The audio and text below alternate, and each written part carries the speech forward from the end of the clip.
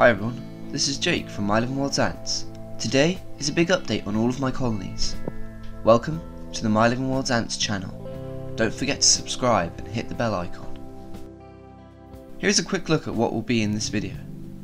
We have three of my colonies in new setups. The Barbarian Queen has her first worker. I released my Mega Black Ant colony. An egg-laying machine caught from nuptial flights.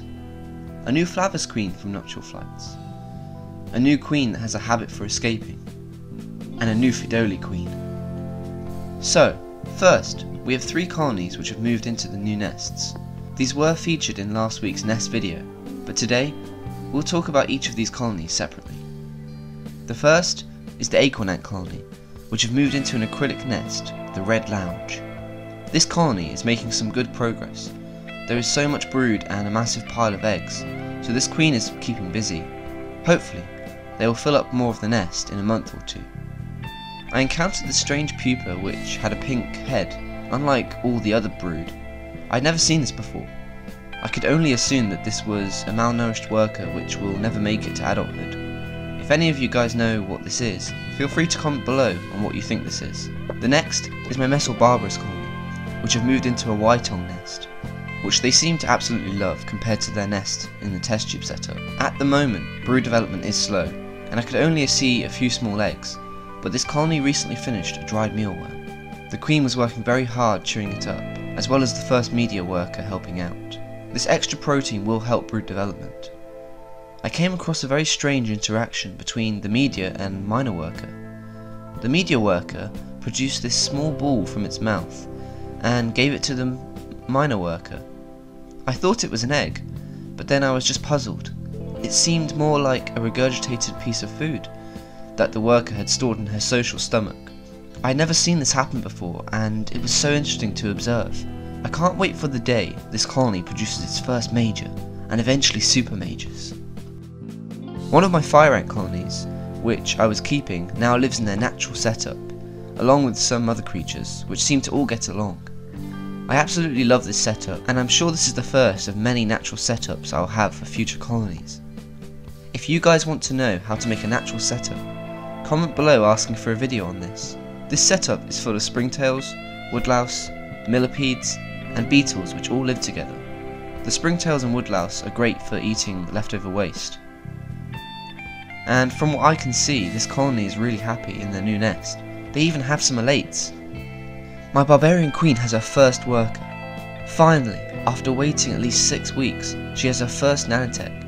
I'm so happy to see the small growth and the size of this Camponotus species is stunning. There is a second cocoon which will be ready soon, as well as some larvae and a few more freshly laid eggs. Now, moving on from my three growing colonies, I released my Lasius niger colony, and I have to say, I will miss having such a large colony.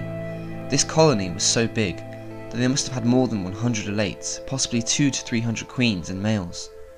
I decided I would let them all go, and let them complete their nuptial flights naturally. Just a quick disclaimer, this colony is native to the UK, which means that they can be released. If you are keeping a non-native species, please do not release them, as they could become invasive or they'll just simply die off. We have a few new queens to welcome to the channel. The first is a pair of Lasius niger queens caught from this year's nuptial flights. The reason this queen is so special is because in my life of keeping ants, I've never seen a founding queen produce this many eggs. Now when feeding my queens, nothing has been different about this one, but she is certainly doing well, and this colony will definitely have a good head start. The next is Lasius flavus queen, with a small batch of eggs, also caught from nuptial flights, less than a week ago. And this is just a small bit of footage of the nuptial flight occurring, before I caught the queens on the ground. And finally, two more queens, we have a Pheidole pallidula queen, with some eggs in her founding stage. The awesome thing about this species is they get majors with big heads, which is where they get the nickname big-headed ants.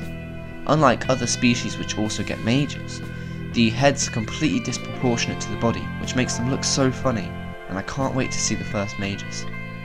And now, our very beautiful but problematic escape master, Camponotus herculeanus, otherwise known as the carpenter ant. This queen had a bunch of eggs, but then suddenly out of the blue, she was gone.